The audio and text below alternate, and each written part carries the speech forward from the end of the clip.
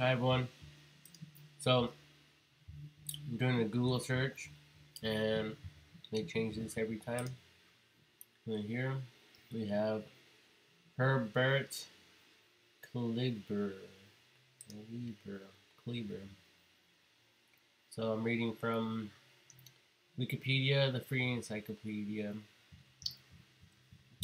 Herbert David Kleber, June 19, 1934 through October 5th, 2018, was an American psychiatrist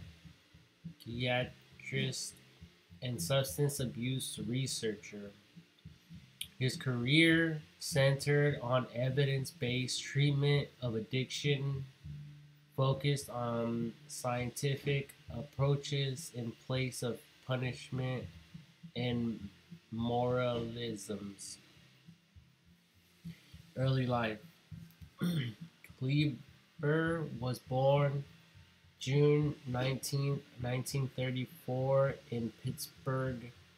Both of his parents were Eastern European Jewish immigrants.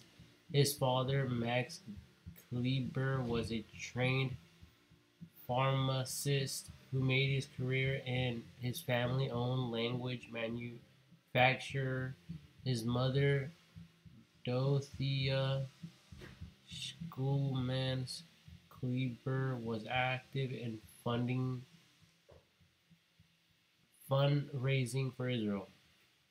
Kleber attended Dartmouth College and received medical training at what is now Sidney Kimmel Medical College in Philadelphia. He then served his residency at Yale New Haven Hospital. He entered the U.S. Public Health Service in 1964 and was disappointed when he was assigned for two years to the Health Service Hospital in Lexington, Kentucky. Much of the patent population patient population at Lexington were addicts. Programs at Lexington later became the basis for the National Institute on Drug Abuse. Although Kleber wanted a regular psychiatry practice because of experience his experience at Lexington. He found himself in demand for treatment of addiction when he entered re-entered to Yale. Career. In 1968, he funded the drug dependence unit at Yale University, where he was a professor of psychiatry. He headed the unit until 1989. He then served for two and a half years as the deputy director for demand reduction at the Office of National Drug Control Policy in the White House. Kleber's work promoted scientific research into the causes and treatments of addiction. He rejected an earlier command, common moralistic approach to treatment. In 1992, Kleber was with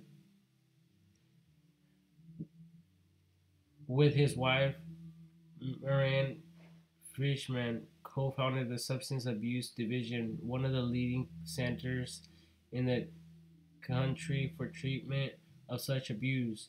Within the Department of Psychiatry at Columbia University, he was director of the division and headed a number of projects on new methods to treat individuals with cocaine, heroin, prescription opioids, opioid, alcohol, or marijuana addictions. He also co-founded the National Center on Addiction and Substance Abuse at Columbia with Joseph Califano.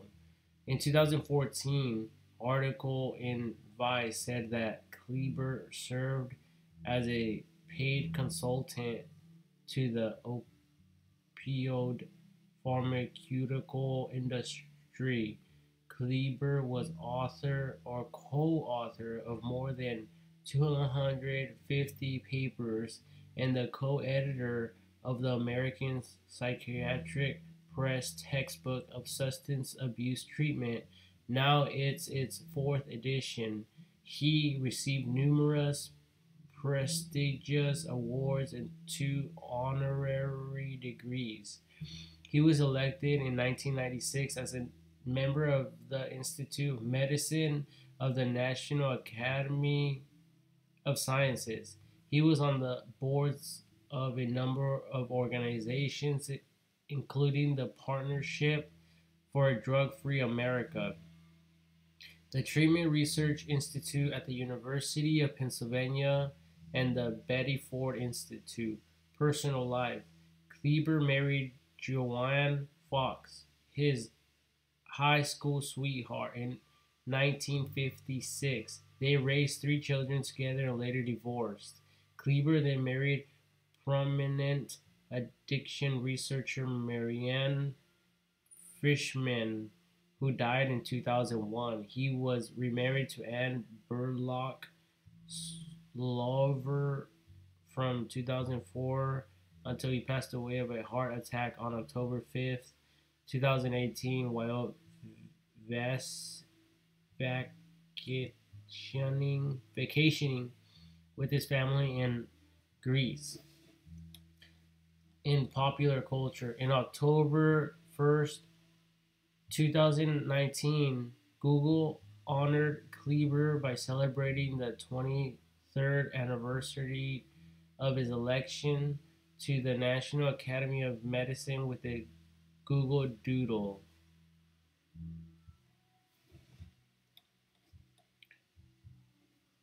Herbert Kleber from Wikipedia, the free encyclopedia.